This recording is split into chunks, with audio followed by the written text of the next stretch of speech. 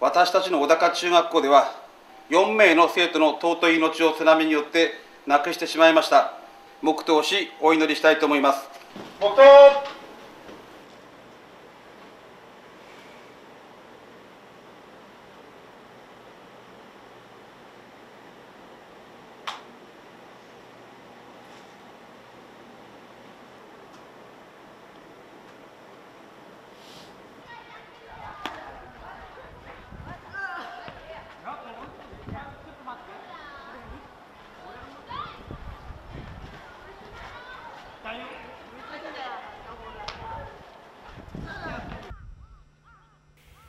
島県南相馬市小高区。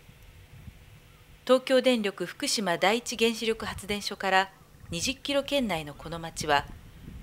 原発事故後に警戒区域に指定され今も1万2000人の住民が避難生活を送っています。小高区で唯一の中学校小高中学校。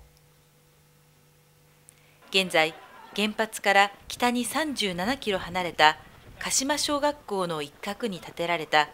仮設校舎で授業を行っています。子どもたちの6割が仮設住宅で暮らしバスで通学しています。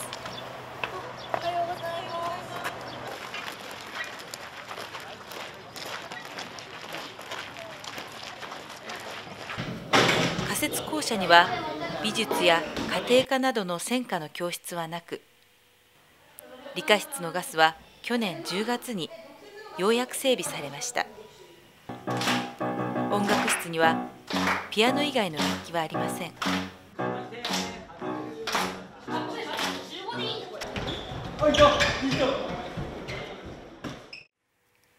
今年卒業する3年生です。入学時はわずか11人。避難先から戻る生徒が少しずつ増え32人になりました。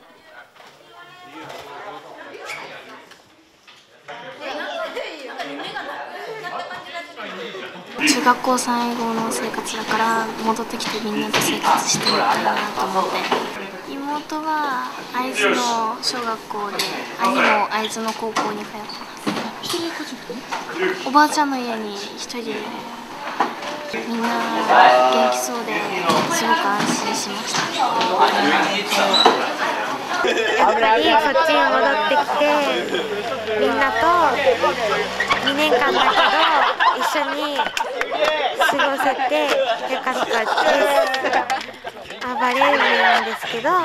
小学校一緒だった先輩とか監督とか亡くしちゃったのでその人たちの分もあのバレエを頑張りたいなって思います。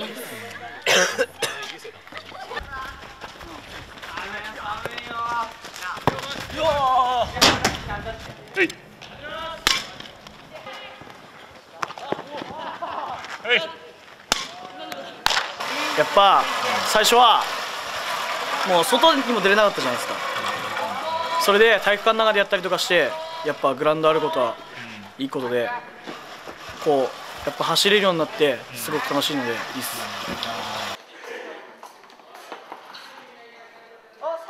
震災後子どもたちにとって欠かせない場所となったのが保健室です。この学校に最も長く勤務している井戸川明美先生は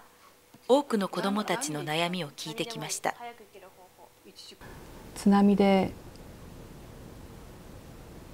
流されていく同級生の姿を見てる子もいるんですね。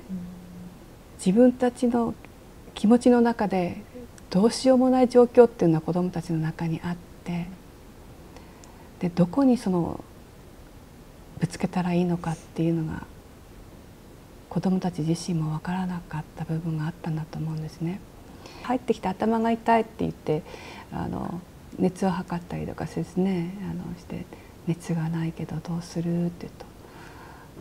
先生で話がしたいって。ポソッとやっぱり。懐かしい。最初覚えて。ないんだよ先生見て。この子大好きだって。大好き大好きだな子どもたちの口から親の離婚の話を私は何回か聞いて。いますその食べることにしてもそうやって住むことにしても本当基本的に安定しなければならないところがベースとしてあるべきなのがそれがもうベースとしての働きがなくって落ち着かない状況。安定性のない子どもたちがじゃあ集団の中でうまく関わることができるかっていうと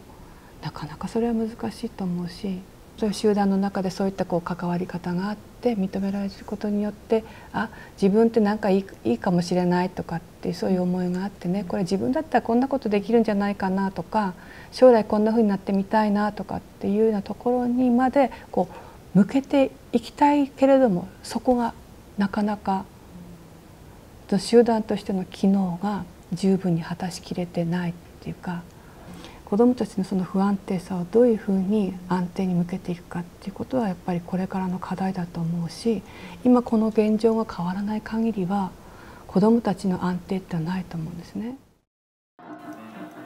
厳しい環境に置かれている子どもたちが楽しみにしているのが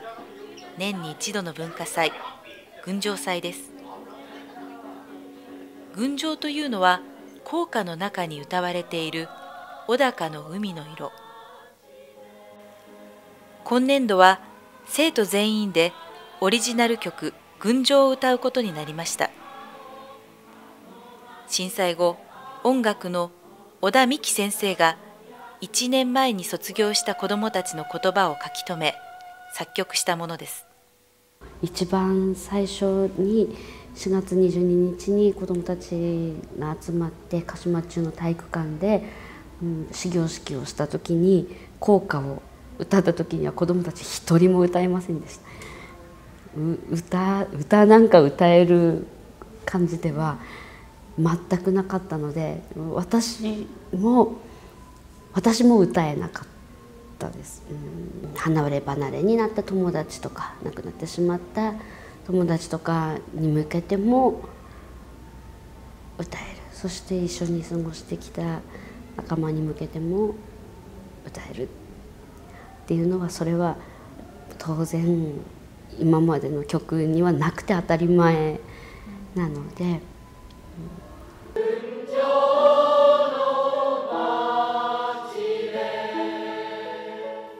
群青祭前日何度も練習を重ねます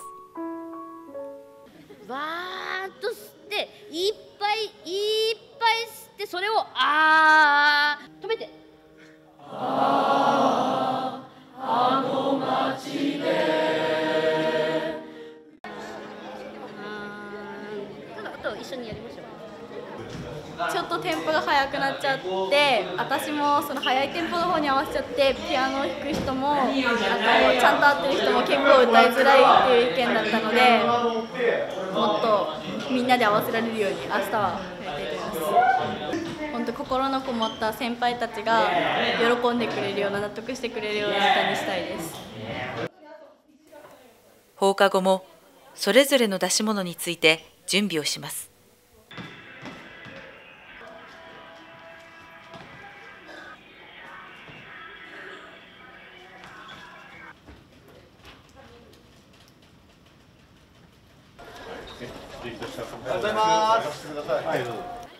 群青祭当日。家族や卒業生地域の人が集まりました。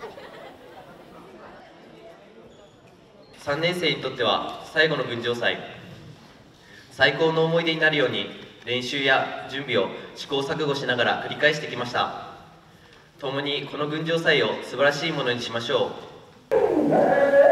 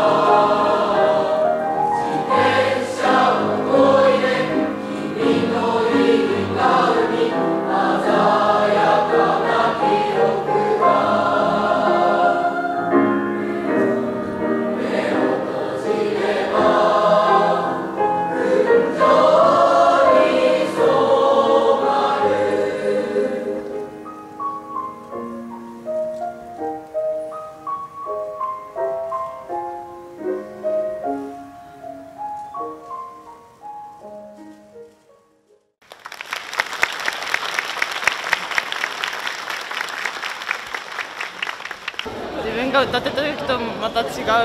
なんて言うんだろう。なんかみんなんて言うんだろうね。みんなで作り上げた群青をこうやってまた次の年の人たちも歌ってもらえて嬉しいです。楽しかったです。避難している立場なもんですから。楽しかったです震災の時のこととか、うん、やっぱり思い出されるしその明日会えるかなっていう、うん、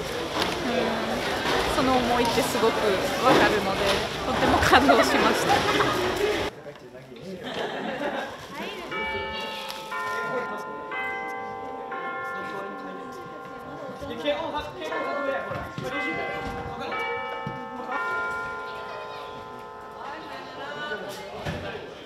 2年前の文化祭の全校合唱ではやっぱり気持ちがまだ歌える状態じゃなくて伴奏だけが流れているなんていう状態の時からあの見ているのであのああやって声を出して、えー、大きな口を吐いて歌っている子どもたちを見て本当に感無量でした。今ああなたたち自身が思っているようなこと産業にまとめ。3年生最後の国語の授業です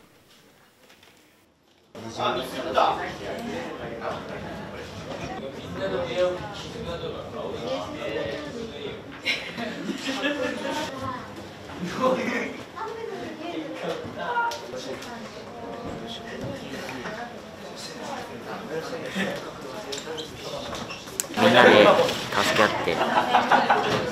勝つことが自分は好きです。これはずいわ最初は行きたいと思ってたんですけど卒業近づくとやっぱ離れたくないなとかあるので楽しみっていうよりはまあ不安もあるし電車も怖いし。震災とかあって、まあ、みんなバラバラになった中でもこうしてこのクラスで集まれてこう仲良くやっていけたので、うん、なんか特別な気持ちっていうか、うん、なんかこのクラスでよかったなと思います。3年間とても短かったです短かった。はい。将来は、えー、小高に安心して住めるような地域づくりみたいな地域づくりじゃないですけどなんですかこう女性にしたりとか復興してみたいです、まあサッカー選手になりたいっていうのもあるしあとね俺のアルバムなくしたんだけど。工業とかの仕事もしてみたいな、まあいとこも流されたんですけど、みんなそれ乗り越えて頑張ってほしいと思います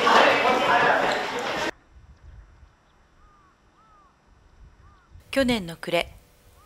小高区の避難の解除は2年後と発表されました。しかし被爆への心配や自宅が住める状況ではないなどさまざまな課題があり将来の見通しは必ずしも明るくありません。震災当時まだ小学生だった3年生の卒業式のために小田先生は群青とは違うもう一つの歌を作りました。本当だったらばこの旅立ちの日にみたいにあの希望にあふれた歌であるべきなんですよ卒業式の歌だけど私たちにとってはそればっかりじゃないよね。どっちかっていうと未来が見えないですよね。そういう気持ちを盛り込んだ歌っていうのはなかったからじゃあ作っちまいましょうっていうことで作った。んですあの人たち、まあ、未来が見えないこの先どうなるか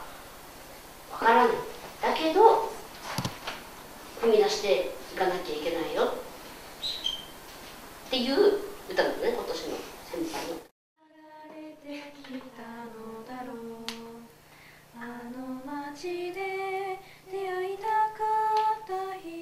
卒業式まであと2日。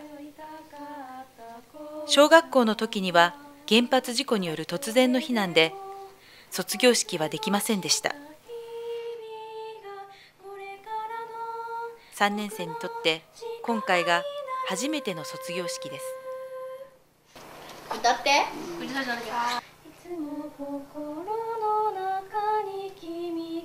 先生と友達と別れを惜しみます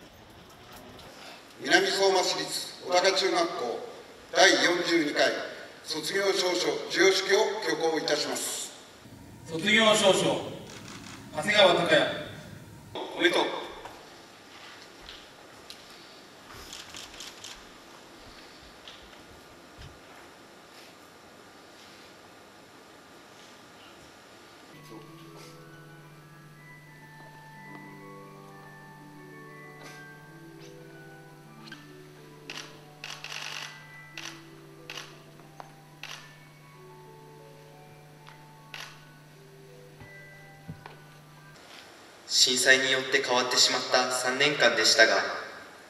忘れられないいくつもの思い出があります。さまざまな思い出には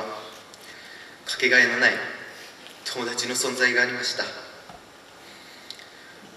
楽しい時も辛い時もいつもそばに友達がいて分かち合ってくれました。震災を通してより一層大切でかけがえのない存在であることを実感しました。ありがとう。本当にありがとう。これからそれぞれ歩んでいく道は違ってきますがこの小高中学校で育んだ心の絆は絶対に切れることはありません。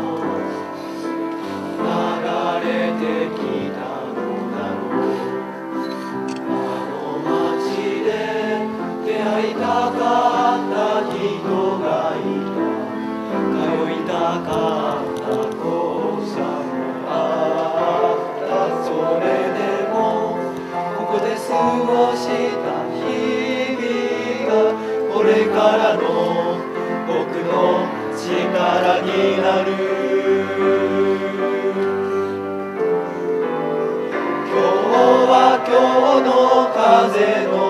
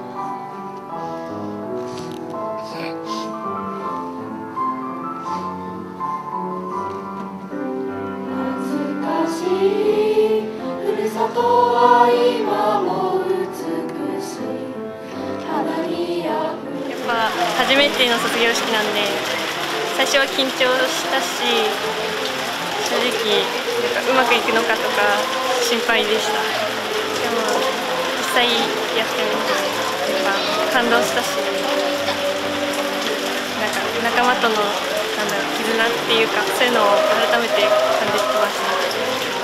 るべく悔いのないようにって思ってはいたんですけどやっぱりいろいろあったしでもいっぱい笑ったしいっぱい思い出もあったし楽しかったです